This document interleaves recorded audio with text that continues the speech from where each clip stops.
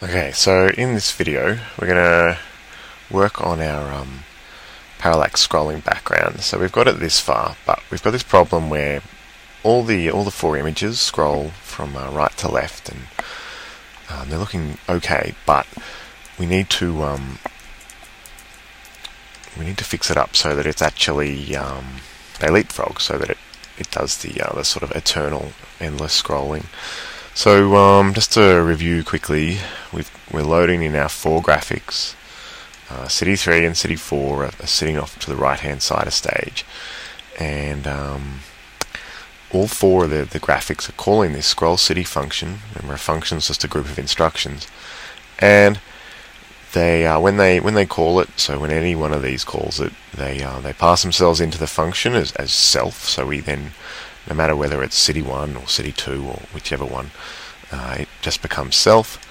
Um, and it's changing its x position, it's updating it, it's saying make my x position equal to my current x position but minus 3 pixels. And so what actually happens then is, because we're saying minus 3, so it, it's constantly adjusting. So it started, well, one of them started at 0, the other one started at 480. And it's constantly saying, hey, remember it's 30 times a second on the frame rate, so um, make my position three pixels less than it was, which uh, just scroll it to the left.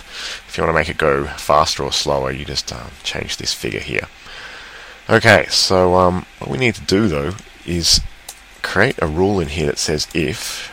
So if it's true that self.x, if your x position is less than negative 480, then um, then we want to do something. And um, else, if it's not, we want to do something else.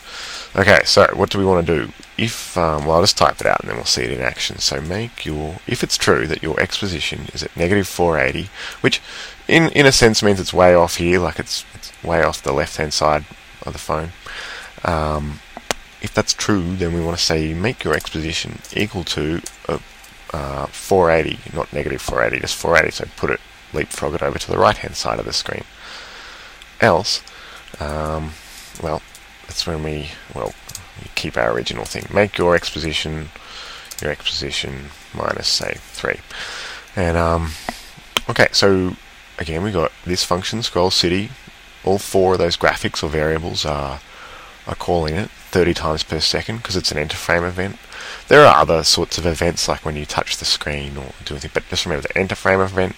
If you need things like animation or, or movement, anything to repeatedly occur, like we need the uh, the X property of these graphics to uh, to constantly be updated, then you want to use an enter frame event, and they're called 30 times per second in Corona. So this function function just contains a group of instructions. It's been called 30 times a second.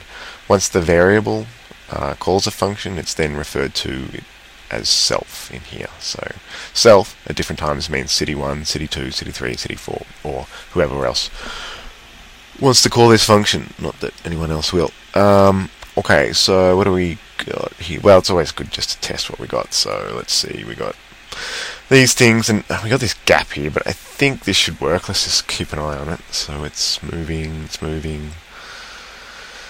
And um, here we go. But yeah, it's more or less working. Um, still a couple of things to fix, but we've got a an endless sort of endless scroll. So um, let's we'll fix the gap in a moment. But one thing you might notice, it's not parallax at the moment. Like the the background, the background and the foreground are moving at the same speed. So we're going to fix that up right now. Okay, so to do that, we're going to go to City 1 and City 2, and we're going to create our own variable local or basically on this variable already. So we've already got a variable. We're going to create a variable in, inside this variable and don't worry too much. It's pretty straightforward. So we're saying, hey, city1, we're going to create something called speed. Now, one distinction here is x and y are built-in properties. So they're variables of this graphic, but they're um, they're built in and you, x and y are just they're there, and you can adjust. That's how you adjust the um, the position. And there's plenty of other sort of built-in variables or properties. Here we're creating our own. Speed is not not like a built-in one, but it's just a variable where we can add a number like this. So we're going to say, hey, uh, make your speed for the back one, uh, say 1. Okay, so I'm going to copy and paste that. So city 2 is going to be that as well. And then going to do the same thing here for city 3, but we're also going to make its speed 2, so it's going to be faster. So copy that, and then last one is city 4, and its speed is going to be 2. So we've got um, our own variable on each of the four variables we already created called speed. And how we're going to use that is we're going to say here, um, make your x position equal to yourself minus your speed property self dot speed.